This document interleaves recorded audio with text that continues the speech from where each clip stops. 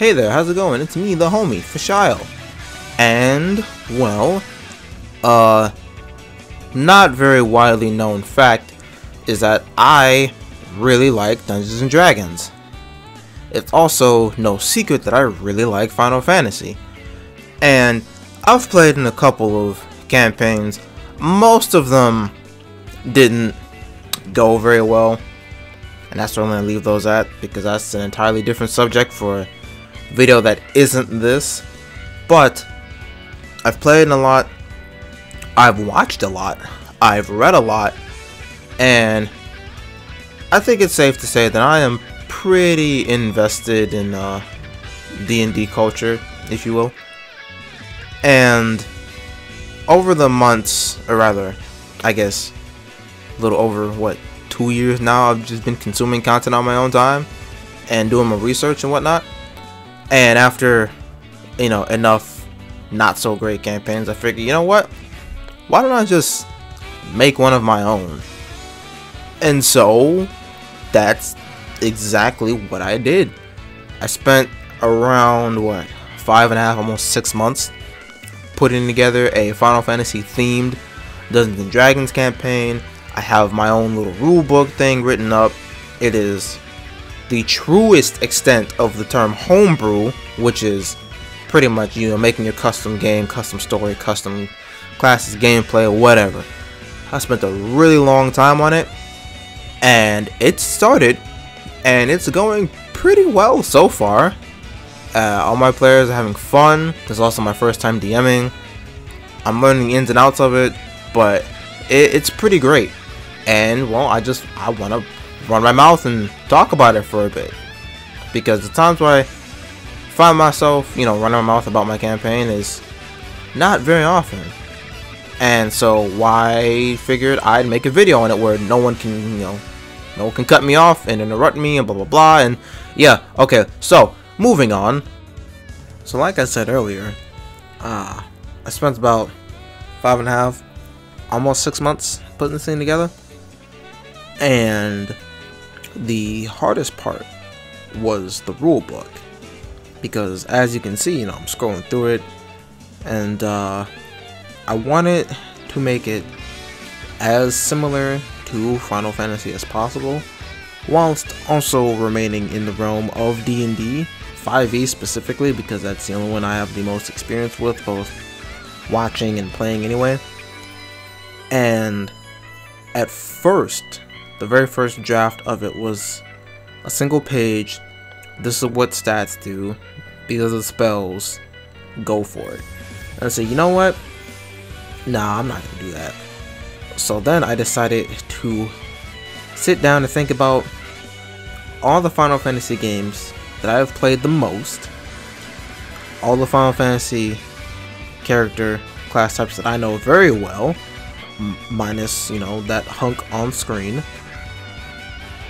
and then I wanted to include the Final Fantasies of which I know gameplay wise like the back of my hand.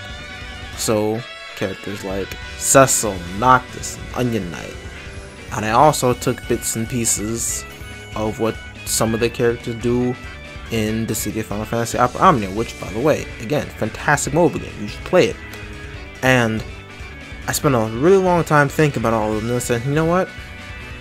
I need to come up with attacks, stats, ailments, uh, little special effects, things like that. I need to include break. I want to include this. I want to include that. And for a while, I was like, man, this is a lot. And I was also like, wait a minute. This is my campaign. This is my game. I can do whatever I want with this. And then I went forth and did exactly that. Uh, yeah. So when I finished the rulebook, came out to, as you can see on screen, a whopping 61 pages. And that was originally just a single page. I was like, you know what? I'm pretty proud of this. I like this. This turned out really, really well. And then, you know, I sent the rulebook off to my players, and the week after, everything got to going, and it was nice. And uh, I remember at first when I first dropped the rulebook, everyone, everyone at the time that was present when I was like, "Hey, my rulebook is done," and people clicked link, it was like, "Oh my god, why is this so long?" And I was like, uh, "The official D&D player handbook is like double this, borderline triple this." So like, come on, this is nothing, and this is all for homebrew campaign that I put a lot of effort into. So, of course, it's gonna be that long because my goal was to include as much detailed material and explain things as best as I could so that way I don't have to have a series of oh what does this do? What does that do? How does this work? How does that work? And I'm just like hey look at the rulebook the rules are there. The stats are there. Every skill that your character gets is there. How they work is there. And uh, yeah, so speaking of what the individual character types that we have in the campaign, as far as players go, we have Final Fantasy II representative, Wild Rose, Firion, Homie. We've got Noctis, Final Fantasy 15, the Homie. We've got Final Fantasy 10, Yuna, Faithwalker, Gun, Chick. I got distracted by how cool she is. And then we've got uh, Samurai. That I have a picture of Rean Schwarzer of because he was the first person that came to mind. Because like, you know what? Yep, this is who I want. This is going to be my representative. And a large majority of the samurai abilities are based off of pre-existing things in Final Fantasy, yes, but the rest are based off of you know what Rean himself does in Trails of Cold Steel. But this isn't about Trails. This is about Final Fantasy and where I drew my inspiration, whatnot from. And speaking of things I've drawn inspiration from, I've got quite a few references in this campaign. Like, I've got Full Metal Alchemist references, I've got Digimon references, I've got Dragon Ball Z references, I've got, uh, there's a Sonic reference in here somewhere. I've also got a Code Geass reference somewhere in here. I'm not telling you where they are. And it's pretty much everything that I like and I find myself calling back to, or going back to. It's in my campaign somewhere. And things like classes and gameplay, etc., etc. And on the gameplay note, the level cap in my campaign is level 50. I figured I'd have it set to that because my original idea was closer to 100 and then I said, you know what? Let's dial that back a bit. By a lot. And so I did. And for a large majority of the classes, specifically the Final Fantasy 1 classes, uh, as a direct callback to Final Fantasy 1, you go find Bahamut, go acquire a rat's tail as a proof of courage. I still don't understand why that was the proof of courage. But regardless, Go do that. And bada bing bada boom. Upgrade. And all of the Final Fantasy 1 classes, with the exception of Fighter, upgrade into Final Fantasy 14 classes. So Elementalist becomes Black Mage, Battle Mage becomes Red Mage, Thief becomes Ninja, etc. etc. Conjurer becomes White Mage. Yeah. And I figure, again, as I stated earlier, I want to make as much of a Final Fantasy game inside of D&D as possible. And you know, I've, I've done that pretty well. Uh, my players are enjoying it. I'm enjoying it. It's my first time DMing. I'm learning things. Uh, it's some people's first time playing D&D properly, and again, going back to the whole level system, I am using the standard EXP system because I have quickly come to realize I hate, I want to repeat, I hate the milestone system. I cannot stand the milestone system because there have been plenty of campaigns that I've played and I was stuck at level 2 for like I don't know a month? Longer than a month? And it was like you know I would like to get stronger at some point but oh no you level up. When I say you level up and it's not fun. I hate it. That's why I'm not doing it. And uh, my EXP table is just you need 5,000 EXP level up. And that's it. All you need. It will never ever ever ever ever change. And speaking of getting stronger and whatnot I have things like you know, every time you eat, you get stronger. Like most of the meals I have in my campaign, when you know the party sits down somewhere and they actually eat something, they will get a stat increase. You know, that's how it is because I like my RPGs to where I can get as strong as possible because I like number crunching. I am power hungry. I want to be the strongest thing in existence when I play my RPGs. And I figure since this is my campaign, I want my players to also be as strong as possible, within reason that they can attain. And well, that is why I believe one of my characters' highest stat is like a 34, 35 something in strength. You know? And uh, the reasoning for that is because every enemy I have meticulously handcrafted.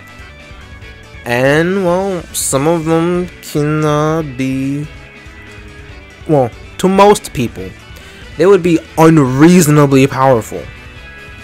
But to the party, it'd be like, ah, you know, it's just another Tuesday, no big deal.